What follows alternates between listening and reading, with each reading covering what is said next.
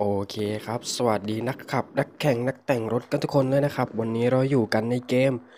Car X Street นั่นเองนะครับ นี่เลยโอเคครับ ก่อนอื่นเลยนะครับ ก็สวัสดีทุกคนเลยนะครับ วันนี้เราอยู่กันในเกม Car X Street นะครับสำหรับวันนี้นะครับ ผมจะก็จะมานะครับในส่วนของรีวิวนะครับว่าในส่วนของเจ้าเกม Car X Street นะครับจะเป็นยังไงบ้าง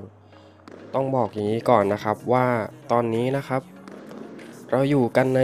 เวอร์ชัน Android นั่นเองนะครับนี่เลยโอเคนะครับก็ไม่มีอะไรมากนะครับ ก็ วิธีการเล่นก็เเห็นหลายๆช่องหลาย ๆ คนก็อาจจะได้ดูกันแล้วนะครับ ก็เดี๋ยววันนี้ก็จะมารีวิวนะครับว่าจะเป็นยังไงกันบ้างเนาะอาจจะเคยดูกันแล้วอะไรกันแล้วเนาะแต่ วันนี้ก็จะมาแบบดูซ้ำกันหน่อยแล้วกันนะครับ ก็จริงๆก็ไม่ไม่ไม่มีคลิปจะลงนะครับ ก็กำลังคิดว่าเอ๊จะทำดีหรือเปล่าหรือไม่ทำดีนะเกี่ยวกับเกมเกมนี้นะครับ โอเค เดี๋ยวเราไปเริ่มต้นกันเลยนะครับ อันดับแรกนะครับ ก็โหลดเกมเข้ามาเนาะก็จะให้เราทำการเลือกรถนะครับ ก็จะมีในส่วนของเออเขาเรียกรถอะไรอะ่ะ ผมไม่มั่นใจนะโอเค เดี๋ยวไปร้านที่ร้านค้ากันก่อนเลยเนาะก็จะมีรถให้เลือกนะครับรถกระบะนะครับ แล้วก็จะรถสีเหลืองๆนะครับ แล้วก็อีกคันหนึ่งเป็นคันนี้บ้าอันนี้ผมไม่แน่ใจนะโอเคนะครับ ในส่วนของเจ้าเกมเกมนี้นะครับ เดี๋ยวขออธิบายแบบสั้นๆนะครับ แล้วก็เข้าใจง่ายๆเนาะ เรามาเริ่มกันที่ฟังก์ชันแรกเลยนะครับ ก็จะเป็นหน้าในส่วนของปุ่มควบคุมหรือหน้าที่วิธีการเล่นนะครับนี่เลยเขาเรียกว่าหน้าอะไรอะเวลาเล่นจริง ๆนะครับ ก็จะเป็นประมาณนี้เนาะรูปร่างหน้าตาก็ประมาณนี้นะครับเรามาดูในส่วนของไอคอนต่างๆ ก่อนเลยละกันนะครับ ขอเริ่มจาก ฝั่งซ้ายนะครับ ฝั่งซ้ายก็จะมีในส่วนของปุ่ม play ปุ่มหยุดนะครับ นี่เลย พอเรากดไปมันก็จะขึ้นเป็นแบบนี้นะครับ นี่เลย โอเค ประมาณนี้นะครับ กดกลับไปก่อนนะครับ ต่อมานะครับ ก็จะเป็นในส่วนของแผนที่นะครับ นี่เลย แผนที่ให้เราดู map ดูอะไรต่างๆนะครับ นี่เลย ประมาณนี้นะครับอันถัดมานะครับก็จะเป็นในส่วนของข้างล่างนะครับ ข้างล่างก็จะเป็น ลูกศรชี้ลงนะครับ แล้วก็มีโลโก้รถนะครับ นี่เลย เป็นเจ้ารูปรถนะครับ เป็นสีแดงๆนะนี่เลยนะครับ ก็จะเป็นการ reset รถนะครับ เวลาเราขับคว่ำขับชนขับอะไรอย่างเงี้ยนะครับ ก็จะ reset ให้เราแบบอยู่บนถนนตามปกตินะครับ เพื่อที่จะขับต่อได้เนาะประมาณนี้เลยนะครับ เป็นปุ่ม reset นั่นเองนะครับ ต่อมานะครับก็จะเป็นในส่วนของปุ่ม ด้านขวานะครับ ด้านขวาเนาะด้านขวาก็จะมีเป็นเงินนะครับ เงินในเกมเนาะอันนี้เราสามารถหาเงินได้เนาะแล้วก็อันถัดมานะครับเป็นเขาเรียกอะไรอะ่ะเป็นหน้าปัดนะครับ หน้าปัดเป็นเรือนเรือนไม้นะครับ ก็จะเป็นอันเล็กนะครับ อันเล็กก็จะเป็นในส่วนของยิงไนตัสนั่นเองนะครับ หรือว่ายิงเทอร์โบยิงไนโตรนั่นเองนะครับ นี่เลยเดี๋ยวผมจะยิงให้ดูนะครับ นี่นะครับก็จะยิงในตัวเพื่อที่จะเร่งความเร็วนะครับ ให้รถของเราแรงขึ้นนั่นเองนะครับ ประมาณนี้นะ อันนี้ข้างหน้านี้เป็นกล่องนะครับ พอเราเก็บกล่องสีเขียวเนี่ยนะครับ ก็จะได้เงินเพิ่มนั่นเองนะครับ ที่ละ 300 500 นะครับ แล้วแต่กล่อง โอเคนะครับ เดี๋ยวไปต่อกันที่โลโก้เนาะ เออไม่ใช่โลโก้ ไอคอนถัดไปนะครับ ก็ไอคอนเป็นอันใหญ่ที่สุดนะครับ ก็จะเป็นในส่วนของ หน้าปัดเข็มไหมนะครับ ก็จะสังเกตได้ว่าจะมีเข็มนะครับ ในส่วนของเข็มก็จะเป็นเข็มสีแดงๆนะครับ อันนี้เป็นบอกรอบบอกเอเวลาเราใส่เกียร์นะครับ ส่วนสัญลักษณ์ตรงกลางนะครับ ตรงกลางก็จะเป็น R นะครับ สัญลักษณ์ตัว R อันนี้คือเป็นเกียร์ถอยหลังนะครับพอเราขับไปข้างหน้าก็จะขึ้นเป็นเลข 1 ก็คือเกียร์1นะครับ แล้วก็จะเป็นเลข ต่อต่อไป 1 2 3 4 เรียงกันไปเรื่อยๆนะครับ ก็จะเป็นเกียร์ 1 2 3 4 นั่นเองนะครับ ประมาณนี้เลย ในส่วนตัวเลข 14 15 16 17 18 19 20 อันนี้ก็จะเป็นในส่วนของไม้นะครับ เลขไม้นะครับ นั่นก็คือความเร็วนั่นเองนะครับ ความเร็วที่เราทำได้นะครับ โอเค ก็มีประมาณนี้เนาะ แล้วก็มีในส่วนของแถบสีเขียวๆนะครับ เป็นเส้นสีเขียวด้านข้างนะครับ อันนี้ก็จะเป็นน้ำมันนั่นเองนะครับ ก็จะมีสัญลักษณ์ข้างล่างนะครับ เป็นรูปปั๊มน้ำมันเล็กๆเนาะแล้วก็มีข้างบนนะครับเป็น 40 40L นะครับนั่นก็คือ 40 ลิตรนั่นเองนะครับ ต่อมานะครับก็จะเป็นมุมขวาสุดนะครับ ก็จะเป็นรูปกล้องนะครับ รูปกล้องเนี่ยก็จะเป็นการเปลี่ยนมุมมองนะครับ นี่เลย น่าจะเปลี่ยนได้ประมาณ 4ถึง5มุมมองนะครับอันนี้ไม่แน่ใจนะครับ ต้องไปลองเปลี่ยนกันดูนะครับ คร่าวๆก็ประมาณนี้นะครับ มีถึง 4-5 มุมมองนะครับ แล้วก็ข้างล่างมาอีกนะครับ ก็จะเป็นรูปรถนะครับ แล้วก็เป็นเหมือนประมาณว่ากันลื่นหรืออะไรสักอย่างนะอันนี้ผมไม่แน่ใจนะครับตรงข้างล่างนะครับ ก็อันถัดมานะครับก็จะเป็นปุ่มควบคุมนะครับนี่เลย ก็จะมี มาด้านซ้ายนะครับ ด้านซ้ายก็จะเป็นในส่วนของไนโตรนะครับ เป็นรูปสายฟ้านะครับนี่เลยสายฟ้าแล้วอันนี้ผมตั้งเป็นแบบนี้นะ ไม่รู้ว่าทุกคนตั้งเป็นแบบไหนเนาะประมาณนี้เลยนะครับ ก็อันถัดมาก็มีปุ่มเลี้ยวซ้ายเลี้ยวขวานะครับ แล้วก็ ถัดมาที่ด้านขวานะครับก็จะเป็นเบรกมือนะครับ เอาไว้ดิฟเนาะผมจะดิฟให้ดูนะครับ กดเบรกมือนี่นะครับก็จะไว้ดิฟประมาณนี้นะครับ ดิฟเข้าโค้งนะครับ ก็อีก 2 อันนะครับ ก็มีถอยหลังมีเบรกนะครับ เบรกเพื่อถอยหลังเนาะเป็นเกียร์ R นั่นเองนะครับ แล้วก็คันเร่งไปข้างหน้านะครับ อีกอันนึงก็จะเป็นคันเร่งนะครับไปข้างหน้านะครับ แค่นี้เลยนะครับ ก็มีประมาณนี้เนาะสำหรับไอคอน ในส่วนของหน้าเกม นะครับ ในเกมเพลย์นะครับนี่เลย วิธีการเล่นเนาะเป็นปุ่มควบคุมนะครับ อันถัดมานะครับ เดี๋ยวเรากดไปที่แผนที่นะครับนี่เลยตรงมุมซ้ายด้านบนนะครับนี่เลย ในส่วนของแผนที่นะครับก็จะมีในส่วนของเป็นเมืองนะครับ เมืองแบบนี้เลยนะครับนี่เลย ก็ในเมืองก็จะมีในส่วนของบ้านนะครับ บ้านเป็น อันนี้บ้านที่เขาแบบให้เรา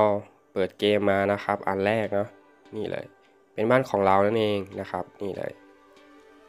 บ้านก็สามารถซื้อได้เรื่อยๆ เลยนะครับ ถ้าเกิดว่ามีเงินเนาะก็จะซื้อได้ ในส่วนตอนตอนนี้นะครับ ผมได้ซื้อบ้านเพิ่มอีกหลังหนึ่งอยู่ตรงนี้นะครับ สีเขียวๆตรงนี้นะครับ ตรงนี้นะโอเค สัญลักษณ์ถัดไปนะครับ ก็จะเป็นในส่วนของปั๊มเนาะสัญลักษณ์รูปปั๊มนะครับ ก็เป็นการ เป็นปั๊มนะครับ เอาไว้แวะเติมน้ำมันนั่นเองนะครับ อันถัดมานะครับก็จะเป็นในส่วนของรูปประแจนะครับ รูปประแจตรงนี้นะครับ นี่เลย ก็จะเป็นอ่าเป็นร้านแต่งรถนะครับ นี่เลย เป็นแต่งแบบแต่งเครื่องยนต์นะครับ แต่งอ่าเขาเรียกช่วงล่างเครื่องเครื่องยนต์อะไรต่างๆนะครับ เหมือนประมาณว่าเป็นงานซ่อมงานเปลี่ยนเครื่องเปลี่ยนอะไรนะครับ ส่วน อีกอันนึงนะครับก็จะเป็นอันนี้นะครับ จะเป็นเหมือนหัวชีตอันนี้นะ อันนี้นะครับอีกอันนึงสัญลักษณ์อันนี้นะครับอะเดี๋ยวไปอันอื่นดีกว่า จะได้ดูชัดๆอันนี้นะครับนี่ตรงนี้นะ เดี๋ยวผมจะวงกลมให้ดูแล้วกันนะครับ ก็จะเป็นในส่วนของแต่งสวยนั่นเองนะครับ หรือว่าแต่งภายนอกนะครับ เป็นการเปลี่ยนสีนะครับ แล้วก็ทำโปร่ง กันชนอะไรต่างๆนะครับ ฝากระโปรง ติดสปอยเลอร์ติดอะไรต่างๆนะครับ นี่เลยประมาณนี้นะครับ ส่วนอื่นๆก็จะเป็นในส่วนของด่านนะครับ แล้วก็สนามที่เราจะแข่งนะครับ ก็จะมีในส่วนของด่านบอสนะครับ นี่เลยไม่รู้ไม่แน่ใจว่าเขาเรียกอะไรนะครับ จะเป็นด่านบอสนะครับคลาสหนึ่งนะครับ ที่เขียนว่าอันนี้นะครับ เดี๋ยวผมกดเข้าไปนะครับ ก็จะเป็นในส่วนของเขาเรียกว่าด่านบอสหรือว่าด่านอะไรไม่แน่ใจนะครับ นี่เลย ในส่วนของด่านนะครับ ก็กดเข้าไปนะครับ ก็จะมีในส่วนของสนามต่างๆนะครับ ให้เราเล่นจนครบชนะทั้งหมดนะครับ ก็จะผ่านบอสตรงนี้นะครับ ก็จะมีในส่วนของรางวัลต่างๆนะครับ ที่เขาแจกมาเนาะของรางวัลก็ลองไปดูกันเองนะครับ บีน่าจะมีประมาณนี้นะครับ นี่เลย ก็ส่วนสนามบอสนะครับ ก็จะมีอยู่ 2 อันนะครับ ก็จะมีเป็นสนามแข่งวนนะครับนี่เลย แข่งวนแบบไหนก็คือแข่งแบบ 2 รอบนะครับ แล้วก็วนเป็นวงกลมแบบนี้นะครับ เป็นสนามสนามสนามบนนะครับ อันแรกเนาะก็อันที่ 2 ก็จะเป็นสนามทางตรงนะครับ นี่เลยก็แบบ ทางตรงยังไงก็คือมันไม่ได้วนนั่นเองนะครับ น่าจะเข้าใจตรงกันเนาะนี่เลยนะครับ มันไม่ได้วนนะ ก็ขอเรียกว่าเป็นสนามทางตรงละกันนะครับ นี่เลยประมาณนี้ อันถัดมานะครับก็จะเป็นด่านม่วงนะครับ เป็นรถสีม่วงนะครับ นี่เลยสีม่วงก็ส่วนมากจะเป็นด่านจับเวลานะครับ ถ้าเราทำเวลาได้ดีนะครับ ก็จะมีของรางวัลนะครับ ตั้งแต่ 500 600 700 นะครับ แล้วแต่เวลาที่เราทำได้นะครับ นี่เลย ประมาณนี้เลยนะครับ ด่านม่วงก็จะมีด้วยกัน 2 แบบนะครับ ด่านจับเวลานะครับ แล้วก็จะเป็นด่านดิฟนะครับ นี่เลย ประมาณนี้นะครับ โอเค มีอะไรอีก ไม่น่าจะมีอะไรละนะครับ โอเค เดี๋ยวเราไปดูแถบด้านบนแล้วกันนะครับ แถบด้านบนตรงโปรไฟล์ของเรานะครับ ข้างๆโปรไฟล์นะครับ อยู่ด้านซ้ายนะครับ ก็จะเป็นค่าโชว์รูมนะครับ นั่นก็คือร้านค้า ที่เราจะทำการซื้อรถนั่นเองอ่าผมกดเข้าไปนะครับ ก็จะมีรถหลากหลายนะครับ ให้เราเลือกนะครับนี่เลยตามนี้เลยนะครับ ตามราคาเลยนะ ส่วนรถนะครับก็จะแบ่งเป็น 2 แบบนะครับ ขอแยกเป็นสองข้อย่อยหลักๆเลยนะครับ ให้แบบเข้าใจง่ายเนาะก็คือรถก็จะมีไม่ใช่ 2 แบบมีอยู่ 3 แบบนะครับโทษทีนะครับ มีอยู่ 3 แบบนะครับ3แบบยังไงนะครับ ก็คือ1นะครับก็จะมีการขับเคลื่อนเป็นขอเรียกเป็นการขับเคลื่อนแล้วกันนะครับ ขับเคลื่อนที่ล้อล้อข้างหน้านะครับ อย่างเช่นคันนี้เนาะคันสีเขียวเนี่ยนะครับ ก็จะมีบอกว่าขับเคลื่อนล้อข้างหน้านะครับ ขับเคลื่อนน่าจะเป็นเครื่องวางวางหน้าหรือเปล่าอันนี้ผมไม่แน่ใจนะ ขอเรียกให้เข้าใจง่าย ๆ ก็คือ ขับเคลื่อนด้วยล้อหน้านั่นเองนะครับ อันถัดมานะครับก็จะเป็นอันนี้ก็ขับเคลื่อนล้อหน้าเนาะส่วนเจ้าคันสีแดงนะครับ สีเขียวเนี่ยล้อหน้านะครับ สังเกตตรงที่นะครับ เดี๋ยวผมจะวงกลมให้ดูเนาะก็จะมีลูกศรชี้ไปข้างหน้า แล้วก็ล้อข้างหน้านะครับ นี่เลยเดี๋ยวผมจะวงกลมเอาไว้ให้ดูนะครับว่าเป็นยังไงเนาะก็จะเป็นล้อสีขาวๆนะครับล้อจะอยู่ข้างหน้าสีขาวๆนะครับอะ อันนี้ก็ขับเคลื่อนล้อหน้ามาดูคันสีแดง คันสีแดงสังเกตได้ว่าล้อจะไปอยู่ด้านหลังแล้วนะครับล้อสีขาวๆนะอยู่ด้านหลังก็คือขับเคลื่อนด้วยล้อหลังนั่นเองนะครับโอเค อันถัดมานะครับก็จะเป็นในส่วนของเเดี๋ยวผมเลื่อนดูนะครับ อีกอันนึงก็จะเป็นขับเคลื่อน4ล้อนะครับ นี่เลยเจ้า R32 หรือว่า เจ้า Godzilla นะครับนิสสันสกายไลน์ของเรานั่นเองนะครับ นี่เลย GTR นะครับ ก็จะขับเคลื่อน 4 ล้อนะครับ นี่เลย ประมาณนี้นะครับ ก็แยกได้ด้วยกันทั้งหมด 3 ประเภท 3 แบบนะครับ ก็คือขับเคลื่อนล้อล้อหน้าล้อหลังขับเคลื่อน 4 ล้อนะครับ ประมาณนี้เลยนะครับสำหรับประเภทของรถนะครับ ประมาณนี้เลยนะครับ อันถัดมานะครับ เอ่ออันนี้เป็นโชว์รูมนะครับ เวลาเราซื้อรถเนาะโอเคนะครับ ต่อมานะครับก็จะเป็นในส่วนของกดไปที่โปรไฟล์นะครับของเรานะครับโปรไฟล์นะครับก็จะมีบอกในส่วนของ status นะครับ status ต่างๆ คืออะไรนะครับ นั่นก็คือ ในส่วนของกิจกรรมต่างๆนะครับ ที่เราทำได้ที่เราเามีของมีอะไรอย่างเงี้ยนะครับ อันแรกก็จับเวลานะครับ แล้วก็อันนี้อะไรผมไม่รู้นะ เป็นเข็มไม้อะไรสักอย่างความเร็วอะไรสักอย่างนะครับ ต่อมาก็จะมีเป็นพวกโรงจอดรถ แล้วก็มีบ้านมีรถนะครับ รถมีกี่คันก็จะขึ้นตรงนี้เลย อันนี้ผมมีอยู่ 2 คันนะครับ บ้านก็มีอยู่แค่ 2 หลังเนาะเอ่อพวกเงินต่างๆนะครับที่เราเคยมีเคยเก็บได้ทั้งหมดเท่าไหร่นะครับ ก็จะขึ้นโชว์ตรงนี้เนาะ แล้วก็เหรียญนะครับ แล้วก็มีในส่วนของน้ำมันนะครับ เราใช้น้ำมันไปกี่ลิตรแล้วนะครับ นี่เลยส่วนกล่องนะครับ กล่องก็เก็บกล่องได้เท่าไหร่แล้วนะครับ ส่วนในการอ,อ,อัปเกรดรถหรือว่าไปแต่งรถ แต่งเครื่องยนต์แต่งอะไร แต่งไปกี่ครั้งนะครับ ก็จะมีขึ้นบอกหมดเลยนะครับ ก็ลองไปดูกันเองแล้วกันนะครับ ว่าทำอะไรไปบ้างก็ เป็นเหมือน status นะครับบอกอรวบรวมข้อมูลนะครับของเรานะครับ ว่าเราเล่นไปเท่าไหร่อะไรยังไงทำอะไรบ้างนะครับ ก็มาเช็คกันดูในนี้ได้นะครับ นี่เลยประมาณนี้นะครับ แล้วก็จะมีการเปลี่ยนชื่อนะครับ อันนี้ผมเปลี่ยนไปแล้วนะครับ เปลี่ยนชื่อครั้งแรกก็จะเป็นการเปลี่ยนชื่อแบบฟรีนะครับ นี่เลย พออ,อ,อันครั้งถัดไปนะครับ ก็จะใช้แบบ 5 เหรียญทองนะครับ นี่เลย ตามนี้นะครับ โอเคนะครับ ก็มีประมาณนี้นะครับ ก็สำหรับการรีวิวนะครับ ก็ในส่วนของเกมนะครับ โอเค พูดมากกันไปแล้วนะครับ ก็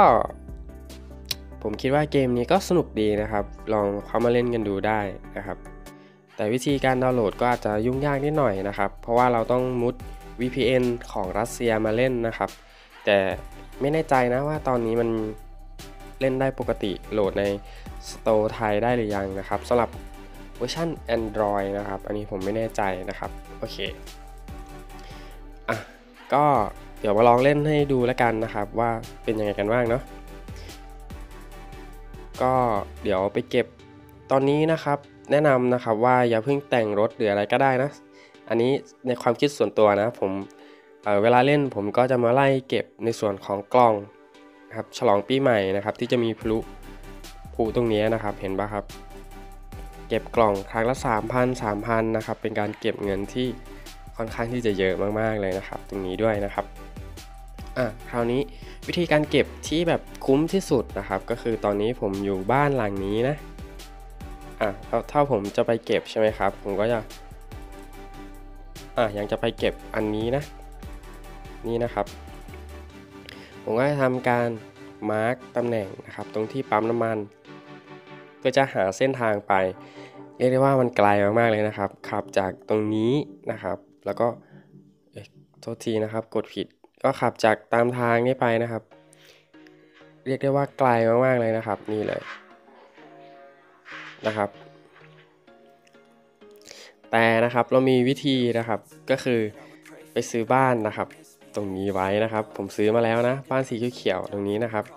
เป็นบ้านสีเขียว จะซื้อในราคาประมาณ 20,000นะครับ ก็จะได้บ้านตรงนี้มานะครับ นี่เลย ซื้อบ้านดียังไงนะครับ ก็คือเราจะวาร์ปไปบ้านตรงนี้ได้นั่นเองวาร์ปแบบฟรีๆเลยนะครับ นี่เลยอย่ารอดูนะครับ เส้นทางตรงนี้ไกลมาก เดี๋ยวผมจะวาร์ปไปตรงบ้าน เพื่อที่จะย่นระยะทางนั่นเองนะครับ ไม่ต้องขับไกลเนาะ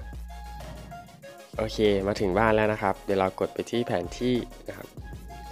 นี่นะครับเรียกได้ว่าใกล้กว่าเดิมมากเลยนะครับโอเคเดี๋ยวเราเดี๋ยวผมจะโชว์นะครับ วิธีการขับแบบมาดูนะครับ วิธีการขับของผมจะเป็นยังไงบ้างนะครับ เรียกได้ว่ามือใหม่มากเลยนะครับ ยังไม่ได้ไปสอบใบขับขี่เลยนะครับ ไปครับรถที่ใช้นะครับก็จะเป็น Porsche นะครับ Porsche แบบรุ่นเก่านะครับ ไม่ไม่รู้ว่าเรียกว่ารุ่นอะไรนะครับ ในคันจริง ๆ เนาะโอเค ไปครับ เอ้ย เอ้ย เกือบชนครับ เข้าปั๊มน้ำมันเฉยเลย เอ้ย มาดิเอ่อพลุน่าจะอยู่ตรงขวามือนะครับ เดี๋ยวผมขอแวะตรงนี้เลยแล้วกัน เข้ารั้วไปเลย ได้ยินเสียงแถวนี้นะ ตรงนี้ปะไปครับ ฝั่งนี้หรือฝั่งนู้นอะโอเค เดี๋ยวดูกัน เอ้ย อยู่นู่นนะครับ โอ้โห ต้องข้ามถนนไปอีกเส้นหนึ่งนะครับ โอเค อะ ไปครับ เจ้าคันนี้ก็ขับดีอยู่นะครับ ลองไปซื้อมาขับกันได้เอ่อคันแรกนะครับ ผมเป็นรถกระบะเนาะแต่แล้วก็มาซื้อคันนี้เพิ่มนะครับ ข้ามถนนไปครับ คันนี้มีข้อดีก็คือ ในส่วนของเออออกตัวนะครับ ออกตัวได้เร็วมากนะครับ แล้วก็เป็นรถค่อนข้างที่จะเบานะ แต่ ในส่วนของแรงม้าอาจจะน้อยไปหน่อยนะครับ อันนี้คือเดิมๆยังไม่แต่งนะ พูดถึงเดิมๆยังไม่แต่งอะไรเลยนะครับ ก็ออกตัวก็ไวนะครับ ตาเร่งนะครับ เกียร์หนึ่งผมว่ามันออกตัวไวดีนะครับ แล้วก็รถค่อนข้างที่จะเบาเนี่ยนะครับ อย่างดิฟไม่ค่อยเก่งเลยนะครับ โอเค ไปครับ เนี่ยนะครับก็เก็บได้มาแล้วเนาะในส่วนของกล่องนะครับ ก็จะได้มาครั้งละ 3,000 นะครับ ก็ประมาณนี้เลยนะครับสำหรับเจ้าเกม Car X Street นะครับยังไงก็อย่าลืมนะครับฝากเนื้อฝากตัวกันด้วยนะครับ อะไรครับเนี่ยผมเจอกล่องเขียวนะครับ ในส่วนของเจ้ากล่องก็จะมีกล่องเขียวเนาะกล่องเขียว อันนี้ก็คือเป็นกล่องแบบปกตินะครับนี่เลยโอเค ก็น่าจะมีเพียงประมาณนี้นะครับ เดี๋ยวเราจอดปั๊มตรงนี้เลยแล้วกันนะครับสำหรับเกม Car X Street นะครับ ในคลิปต่อๆไปนะครับ ผมก็จะมาแต่งเจ้าคันนี้ให้ดูนะครับ ว่าจะออกมาสวยหรือว่าแรงแรงขนาดไหนนะครับ ก็อย่าลืมฝากเป็นกำลังใจนะครับ ให้กันด้วยละกันนะครับสำหรับเกม ค่า X Street นั่นเองนะครับสำหรับวันนี้นะครับไม่น่าจะมีอะไรแล้วนะครับ ก็จะมารีวิวแบบคร่าวๆนะครับ ให้ทุกคนได้ดูเนาะบ๊ายบายครับ ไว้เจอกันใหม่คลิปหน้า สวัสดีครับ ไปแล้ว